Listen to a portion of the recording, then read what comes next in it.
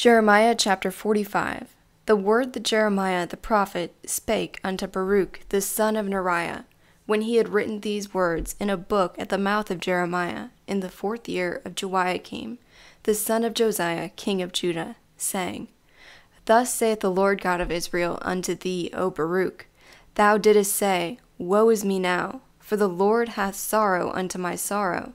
I fainted in my mourning, and I can find no rest. Thus shalt thou say unto him, The Lord saith thus Behold, that which I have built will I destroy, and that which I have planted will I pluck up, even this whole land. And seekest thou great things for thyself? Seek them not. For behold, I will bring a plague upon all flesh, saith the Lord. But thy life will I give thee for a prey in all places, whither thou goest.